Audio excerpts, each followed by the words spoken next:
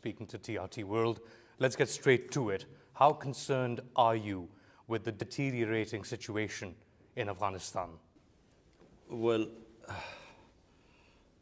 let me just say that uh, what at one point we expected a bloodbath because if you see what happened after the Soviets left in 1989, there was a bloodbath in Afghanistan. Hundreds and thousands of Afghans died after that.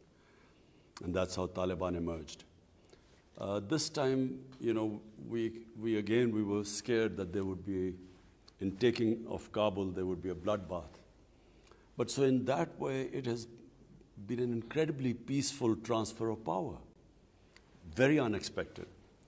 However, now the problem is uh, this looming humanitarian crisis because a government, an Afghan government that depended uh, for 70 or 75 percent of its budget on foreign aid, the moment the foreign aid component goes, and that's what people feared that with, the, with the Taliban coming in, there would be no foreign aid. So unless there is help in the short term, I mean, in the long term, maybe the Taliban would be able to uh, stand on their feet. But in the short term, unless they are provided aid, there is a grave danger of a collapse of a government, uh, chaos, and a humanitarian crisis. A lot of this depends on the international recognition of the Taliban government in Afghanistan. Is Pakistan going to recognize the Taliban government?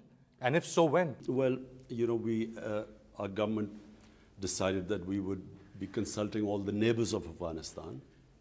We will uh, discuss with them about uh, the timing of when to recognize the Taliban regime. So we are in discussion.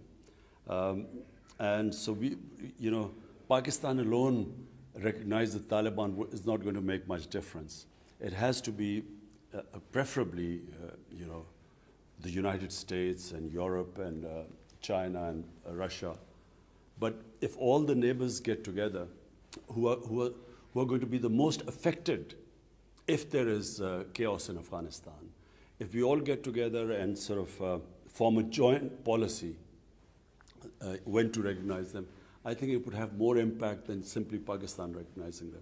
But it's a difficult position for Pakistan because unless and until there is recognition of the Taliban government, humanitarian aid supplies, the, all the reserves that are frozen abroad for uh, the Afghan government, they can't necessarily be released. The big question is, when is the United States going to recognize them?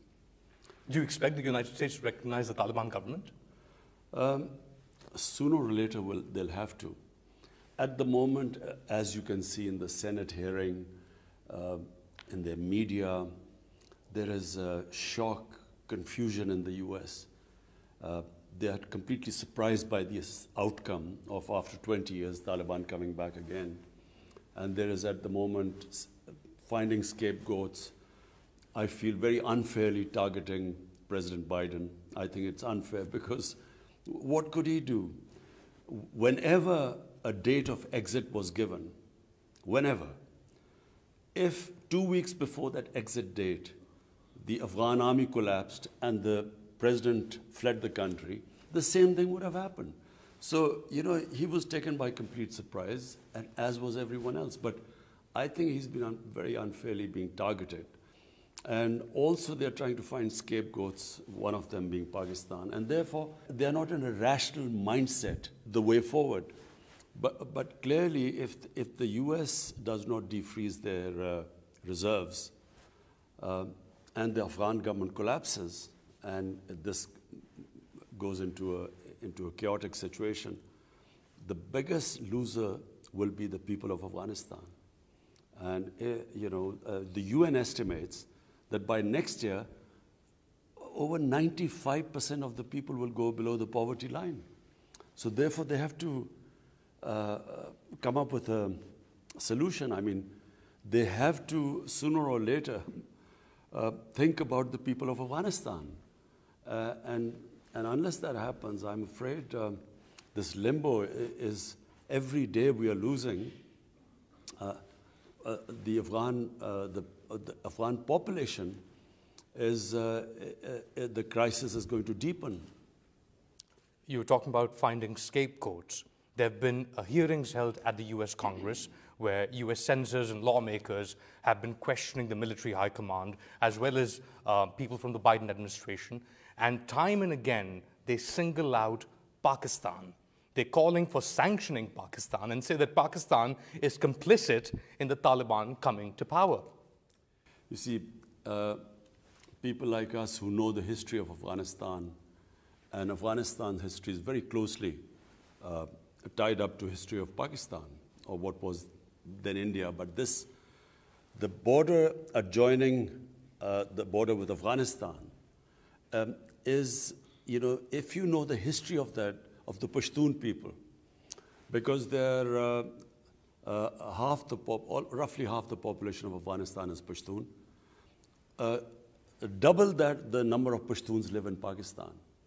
And along the Afghan border, both sides are Pashtun tribes.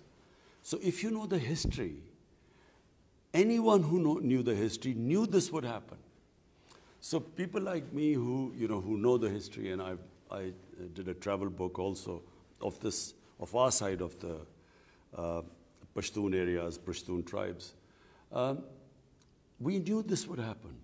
We knew that eventually there would not be a military solution because uh, the people do not accept foreigners. They, they have resisted foreign, foreigners, especially if, if they are not Muslims.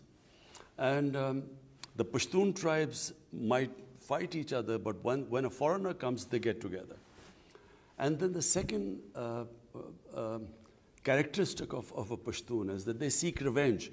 If there's someone is killed in their house, they will, go, they will seek revenge. And to seek revenge, they will join the militants. So on this side of the border, exactly the same thing happened when we uh, decided to uh, become an ally of the US. Uh, because the uh, Taliban were Pashtun, sympathies for Taliban not because of the religious ideology, but because of the Pashtun nationalism. On our side of the border, we, we had for the first time the Pakistani Taliban. And they called us collaborators and started attacking us, which is the TTP, the Pakistani Taliban. Exactly the same thing happened on the other side. The more collateral damage, the more drone attacks or aerial, aerial bombing, the more night raids where uh, people were humiliated or killed, the more the, uh, the militant ranks swelled. So the Taliban movement grew over a period of time. And uh, this, so we, by 2008, I went to the US. I addressed the think tanks. I met Joe Biden as a senator. I met um, John Kerry as a senator. And I explained to them. But then I realized that they were clueless. The American public had no idea what was going on in Afghanistan. Hence, they are completely taken by surprise. They thought they had built a democratic government, that there was some, they had um, liberated their women. You know, people in the US thought like that, and there were so few American casualties. So Afghanistan was, you know, something which was not in their minds. So when this suddenly happened, they had been all taken by surprise. And therefore, you see this in, in Senate, the sort of questions being asked. They are so, they had no idea that this was happening. But believe me, in Pakistan, people who knew Afghanistan's history, Army chief in 2010, General Kayani, went to meet uh, President Obama. He explained to them that there will not be a military solution, that the moment you lead, the Afghan army will collapse. He told them that, look, you will leave a mess there, and we will, we in Pakistan will suffer the consequences. But he, again, they had no idea. Some people say that this position of yours, now looking back in retrospect, is quite prescient but they also accuse you because of the stand of being, they call you Taliban Khan. You see, it was this awful, arrogant, imperialistic attitude of uh, the Americans under George Bush when he said, either you're with us or against us. You know, after 9 11, this amazingly ridiculous statement if you do not support our policies, you're against us.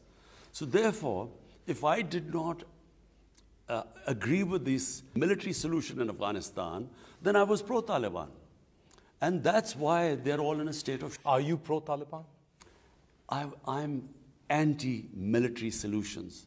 I do not believe that the way to solve world's problems are using military means. I was against the Iraq war. I, I, if there's an objective analysis uh, done about what has happened in Iraq, I even objected to my own uh, country uh, using military means, for instance, in East Pakistan, when we used uh, military, uh, you know, to resolve the issue. I'm, I, I do not believe in military solutions. But in this case, I knew the subject much better than anyone in the US understood. So therefore, uh, it was this amazing thing that, you know, if you criticize the US policies, you were anti American and you were pro Taliban. And you didn't have to spend two and a half trillion dollars to get to that conclusion. Uh, uh, uh and, you know, uh, even I, I, objected to Pakistan uh, becoming uh, involved in this war. We had nothing to do with 9 11. No Pakistani was involved. Al Qaeda was in Afghanistan. Um, we had no militant Taliban even in Pakistan. So, what, what had Pakistan to do with this war where a country loses 80,000 people? Our whole tribal belt was devastated. Three and a half million people internally displaced. We were called the most dangerous place in the world. Our economy went down. $150 billion lost to the economy. Uh, our, our, our currency lost half its value in 2008. So, I mean, we paid a heavy price for this. But for what?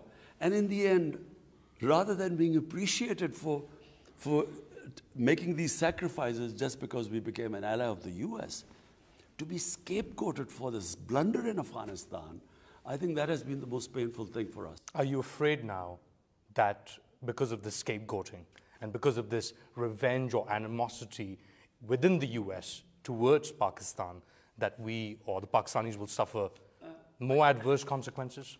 I think um, whenever this anger goes and some rationality uh, uh, uh, appears in the US, they start rational thinking about this. They will realize that how could Pakistan be responsible for this? Simply because how could 300,000 well-equipped Afghan army give up without a fight? And Afghans are one of the bravest nations in the world. Why did they not fight? It wasn't because of Pakistan. How could they give up to 60 to 70,000 lightly armed militia? If Pakistan was helping them, they wouldn't be, they appeared in Kabul on motorcycles without shoes. Compare them to the Afghan army. So if you do an analysis of why that happened, why did they not fight? The conclusion will be anything but Pakistan was responsible. The conclusion will be number one, Afghans have always resisted foreign occupation. They're a very independent people. They're basically a free nation, free thinking people. Their culture is very democratic.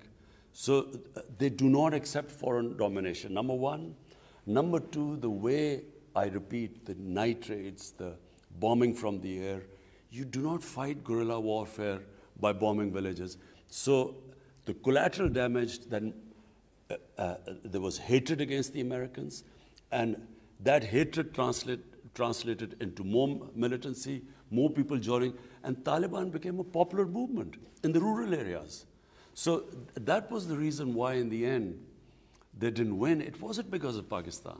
Now the Taliban is in power, and Pakistan has, is left behind once again to deal with the fallout of a hasty US withdrawal. Recently, you wrote in a Washington Post opinion piece that the international community will want to see the inclusion of major ethnic groups in the Afghan government.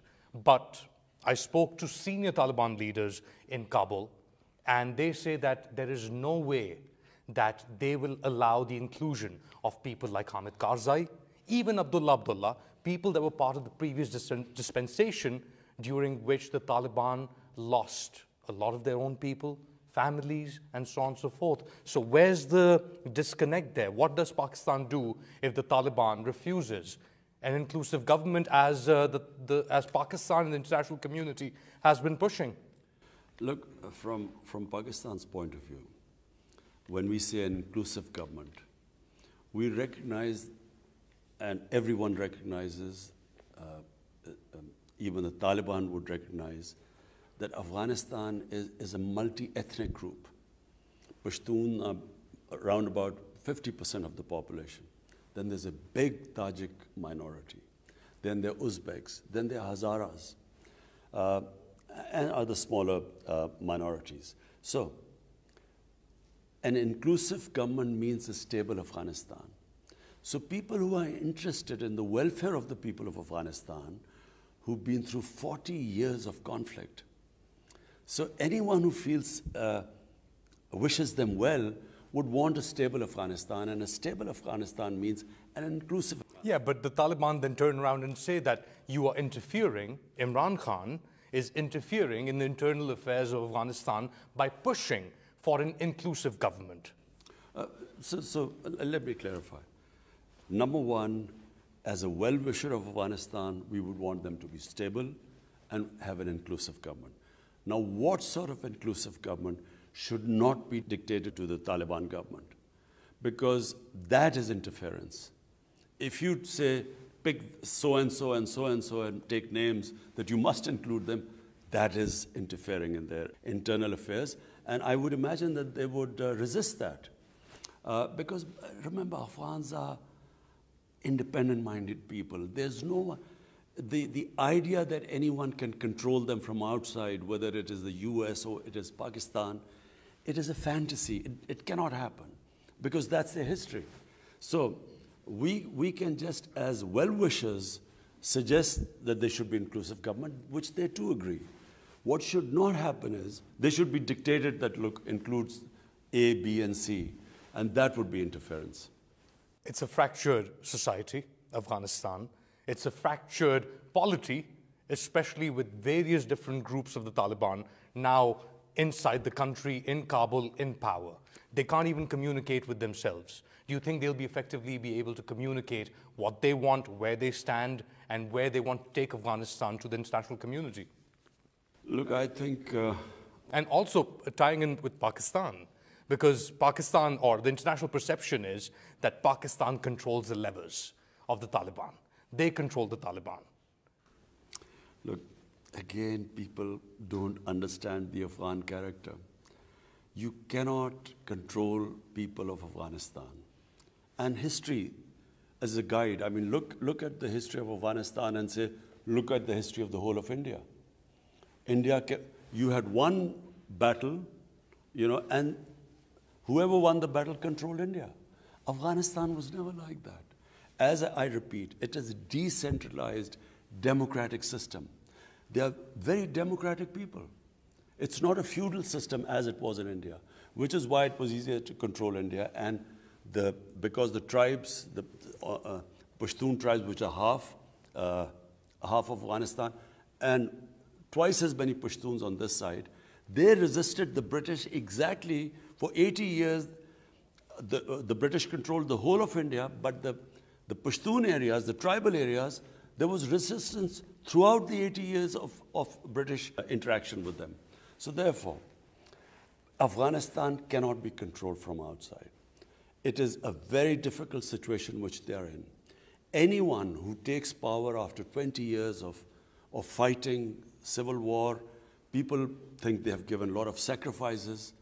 So now to, to come into power and then um, even dealing with your own people, forget about it, including other people who were not part of the struggle. Even dealing with your own people, I would imagine, is a pretty difficult situation right now for Afghanistan, for, for the Taliban government. So, therefore, if you're asking me what will happen, I don't know what will happen. I pray that's all we can do. We pray that after 40 years, the people of Afghanistan would have peace and stability. But I don't know what will happen. How would you define the US Pakistan relationship as of now? Uh, I think, you know, well, we're, we're talking uh, with the US. We're constantly in touch with them. Our security, our head of intelligence is dealing with them. Um, our foreign minister is dealing with their foreign secretary. But, but the president hasn't called you up. No, he hasn't, but it doesn't have to be like that, you know. I mean, uh, the, why is that? The, the, the president or the heads of state, I mean, they talk, when they talk to each other, basically it's a formality because all the homework is done by uh, people below. So it's not necessary. Uh, it's not necessary for the, for the most powerful man in the world to call the Prime Minister of Pakistan, who is at this moment one of the most critical people as far as Afghanistan is concerned? I, you see, I, I repeat again, I think uh, right now President Biden is under a lot of pressure because you know. Almost seem sympathetic. Uh, sympathetic, sympathetic because you know he is being criticized for the for the awful airport scenes. But you know, my contention is, how could he predict that the two weeks before the exit, the president would uh, would flee the country and the Afghan army would collapse? How could we couldn't predict it? Taliban couldn't predict it. So how could he predict it? So therefore, he's so the, those awful airport scenes, they have caused such a sort of uh, uh, uh incredible reaction in the American public and of course then Taliban taken, taking over. So therefore, he's under severe criticism right now, which I have sympathy because, you know, we know we sort of eh, in our position, you know, when when you are under uh, a lot of public pressure and media pressure. So I guess you know it's up to him. I mean, when he wants, he can talk. So there's a way forward still for U.S.-Pakistan ties, despite what has happened or this animosity. Of course, of, of course I mean, you know. Uh, uh, the US-Pakistan uh, ties have been, you know, over uh, 50, 60 years since Pakistan became part of SEATO and CENTO, and then in the Cold War we were the, with the US. ties go up and down, you know, you have your highs and lows. But uh, I think in, on Afghanistan, it is critical that U.S. now plays a part. Because, you know, look, they were there for 20 years. And if there is a mess, they wash their hands of Afghanistan, it will become a repeat of 1979 when the Soviets, when they left and the US left. And look what happened to Afghanistan after that. The bloodbath that, that took place, over 200,000 Afghans died in that, and there was total chaos in Afghanistan. So the last thing for anyone, most of all us, we, were, we neighbors will be affected, others uh, around uh, Afghanistan, all the other neighbors will also be affected. But then US, what will it have to show in the end? That after 20 years, spending over $2 trillion, uh, hundreds and thousands of Afghans died in this time. What will they have to show if, the, if there's chaos there again? And then in chaos is what, where the uh, international terrorists found a safe haven. In the past month, actually in about 40 days, uh, since the Taliban uh, walked into Kabul, there have been 24 attacks on Pakistani security personnel inside Pakistan, in the border areas and settled areas. Over around 100 Pakistani security personnel have been killed in these attacks, which have been claimed by the Tehreek-e-Taliban Pakistan, or TTP. Is Pakistan facing uh, another or renewed attacks by the TTP because of the emergence of the Afghan Taliban in control now in Afghanistan? Uh, what happened was that in Pakistan in 2014, uh, the, uh, our security forces did a big operation, and this was in North Waziristan. And the TTP, the Pakistani Taliban, who were uh, uh, uh, doing terrorist attacks within our country, they were pushed out. And they then went into Afghanistan. And I'm afraid not only were they helped by the, uh, uh, the Afghan intelligence agencies, but they were also helped by, the, by RAW, the Indian intelligence agency. And they then used them to uh, conduct attacks within Pakistan. But these attacks dropped significantly over the past few years. Uh, yes, they did drop, but they attacked through uh, TTP, they attacked the Chinese uh, nationals who were working in Pakistan. And they also conducted a series of attacks uh, in Balochistan. So since uh, in the last 40 days, there has been an increase. Uh, and, and we fear Are you concerned about that? Uh, up to a point, not that much, because we, are, we have very disciplined uh, security forces who are very experienced now. Over 15 years, Pakistan got uh, uh, more experience than probably any other country in dealing with counterterrorism. And we have, as, a, as the world knows, one of the best intelligence agencies in the world. So we, we are confident that we'll de deal with it. Problem right now is that with people, we, we had about 250,000 uh, people come into Pakistan from Afghanistan. And amongst them, we fear that they have, uh, uh, they have been uh, members of TTP who were in prison in Afghanistan who were released. Even ISIS, we feel that they have, uh, amongst these 250,000, few have come inside. So, you know, that's where the problem was because of uh, the sudden takeover of Taliban and the uh, influx of people either going out of Pakistan, using Pakistan to, to go uh, on other destinations, uh, or simply uh, people who have come in. So, you know, that is a concern temporarily. But I think we will be able to deal with it. You don't think the Taliban taking over in Afghanistan will become like a beacon a rallying cry for all these groups, especially TTP, which is ideologically aligned with the Afghan Taliban, not so much with ISIS Khorasan. Uh, you see, the difference is that uh, there's a Muslim government in Pakistan. So, what are the Taliban waging a war against? You know, in Afghanistan, they declared jihad because they said it's a foreign government and its collaborators. In Pakistan, they, they, initially the TTP came in saying, we were collaborators of the Americans. And same the old Mujahideen who were, who, who were trained to fight the Soviets. They too also termed our government as collaborators and were attacking us, which is why we lost 80,000 people. Uh, but, and then there were drone attacks in Pakistan. And you, you stood up against those drone attacks. You, in fact, held rallies to stop the NATO supply line going from Pakistan into Afghanistan. You, of all people, should know more about this. So, is there like an innate concern then that this could go out of control, Prime no, Minister? No. Let, let, let, me just clear, uh, clarify. Drone attacks, to use drone attacks to kill, to fight terrorism, is the most insane way of doing it. Because no matter what anyone says, whenever a bomb explodes in a village, there is collateral damage. And, you, and as we saw in, a, uh, in Kabul, the drone uh, doesn't always get the right people.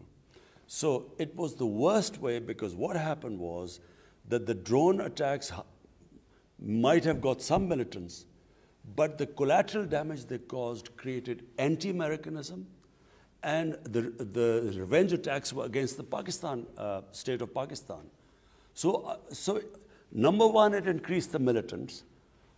The number of militants grew because anyone who had, who, in a village when the bomb exploded, when, when they lost people, their relatives, they then joined the militants. So the ranks of the militants spread. And it was completely counterproductive. And we bore the brunt, Pakistan bore the brunt of the fallout of the drone attacks in Pakistan. So therefore, you know, uh, uh, uh, now there are no drone attacks because at that time they called us collaborators. Now it's not the same case. And therefore, the motivation uh, why would they attack the state of Pakistan? Whereas then they had, they could give some You're justification. Not concerned. You're not concerned. No, I, I don't think so. That the the su success of the Afghan Taliban movement in taking over Afghanistan, defeating the greatest military in the world, the Americans, will not have a spillover effect or will not inspire similar like-minded groups in Pakistan? Uh, I think, uh, you know, it's completely different. What was happening in Afghanistan and in Pakistan now is completely different.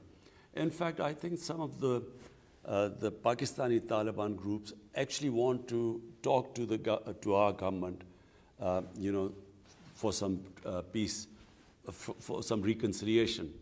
And we are in talks with some of the groups. What we hope is that this the TTP. Are you in talks with the TTP? With some of them, yes. You see, so, it's, it's, there are different groups which uh, which form the TTP. Yes, so we are in talks with some of them. Uh, on surrendering or reaching yes, on, on, you know a reconciliation process. Is the Afghan Taliban helping you in this process? Uh, in the sense that it, they are The, the talks are taking place in Afghanistan. In, in that sense, yes. So there is, a, uh, there is some sort of negotiation or talks underway between Pakistan and the Tehrik-e-Taliban Pakistan or some groups of the TTP to lay down their arms. Yes, and, and, then, and then we forgive them and they become uh, normal citizens. This is quite a, quite a revelation, uh, Prime Minister Imran Khan. So you are expecting some sort of agreement or some sort of deal to come out or emerge between the TTP and the government yes, of Pakistan? Yes, uh, I, I, repeat, I do not believe in military solutions. I'm, I'm anti-military solutions. So I always believe that, you know, as a politician, political dialogue is the way ahead, which I always believed was the case in, the, in, in Afghanistan. So why is the TTP the attacking Pakistani security forces if they're talking to you and trying to reach a negotiated settlement? I, think uh, that was just uh, uh, a spate of attacks, but we are talking. We might not, uh, we might not uh, reach some sort of a conclusion in the end, a settlement, but we are talking. We are also talking to the Baloch militants. We're trying to also talk to them and have some sort of uh, political reconciliation with them, uh, those who are willing to reconcile. You mentioned India and the role of India uh, that Pakistan says was uh, instrumental in carrying out attacks in Pakistan. Um, there's been a lot of disinformation emanating from um, Twitter accounts, control or social media accounts um, controlled by the by or being operated from India. In recently at the UN General Assembly, you said that uh, there is a war against Muslims in India, including in Indian administered Kashmir. If this is the case, can, what can Pakistan do to raise this issue, to contain this war against Muslims in India, as you say it? Look, um, what, what do human, right, uh, human rights groups do? They raise the issue at all levels and build pressure finally to um, fight these human rights which are being abused, not just of Muslims in India, but specifically what is happen, happening in the Indian occupied Kashmir. So we, are, we raise it at every forum, United Nations, uh, you know, in the Human Rights Forum, uh, in the international media, because um, uh, you know, when people talk about uh, maybe the human rights abuses of Taliban, I think it should be, it should not be selective. They should also talk about what is happening in Kashmir, where about 900,000 Indian troops have basically put uh, 8 million Kashmiris in an open prison. So therefore, I feel that it should be even-handed. Uh, when human rights are selectively uh, uh, talked about, they lose their credibility. I, I, I, feel very strongly that the world, the international community, should, uh, and the countries, the, the powerful states, should talk about what is happening to the people of Kashmir. And that's it, lip service on talking about people of Kashmir? That's how pressure is mounted. You know, in East Timor, uh, there was. But now the, the Indians are part of the Quad. They, they were hosted by, Narendra Modi was hosted by Joe Biden and they're forming an anti-China bloc. And India is one of the critical components of that. So, so my two observations. One, that uh, you know, when, you, when, when people who you are allied with, you ignore the human rights abuses, and you only worry about uh, the countries who you're opposed to, and you mention their human rights abuses, you lose your credibility in that. Secondly, uh, my observation is that in trying to form these blocs, the last thing the world wants is another Cold War. Because we saw the Cold War between the Soviets and the US, and the world sort of being divided into uh, two camps. I wish this does not happen again, because um, by, by cooperation and by uh, the world coming together, there is much more to gain than by the world being divided. You, you mentioned, mentioned uh, India, we mentioned China, I mentioned the Quad.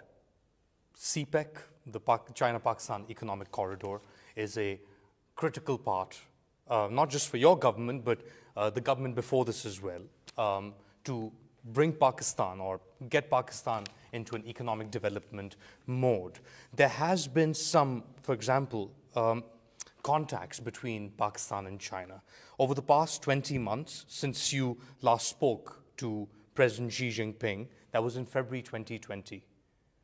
Have you had conversations with high level Chinese since, including the president? I, I have spoken to the Premier, uh, Premier Li, uh, almost, I think, three times since then. Uh, the thing is, uh, President Xi right now has not, uh, since the, the outbreak of COVID 19, he's restricted his movements. Otherwise, he was due to come to Pakistan. So he hasn't been uh, anywhere out of China right now. And uh, I think we are soon about to have a meeting. Uh, I'm supposed to have a meeting with President Xi uh, in, in coming days. Our relationship with China is strong. It always has been very strong. Uh, Pakistan-China relationship goes back 70 years. And um, through all uh, ups and downs, basically this uh, relationship has withstood the test of time. So you're positive that despite the slow progress maybe of some CPEC projects, it's all good as far as Pakistan China? Yes, uh, we just had the JCC meeting recently, and uh, you know, it's heading in the right direction. Uh, unfortunately, COVID has, be, has caused huge disruptions in the world. And in this, in, especially in our communication, uh, uh the, I was supposed to go to China, President Xi was supposed to come here, but all that got uh, restricted because of COVID 19. Finally, you're talking about major disruptions in the world.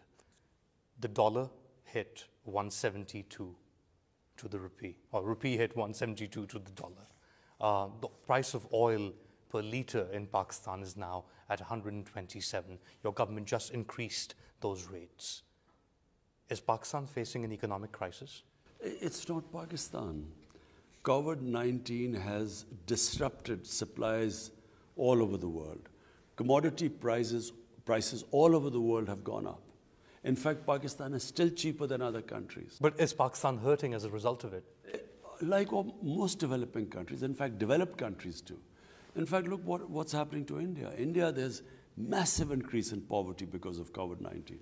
So Pakistan also has been affected by the rise of commodity prices.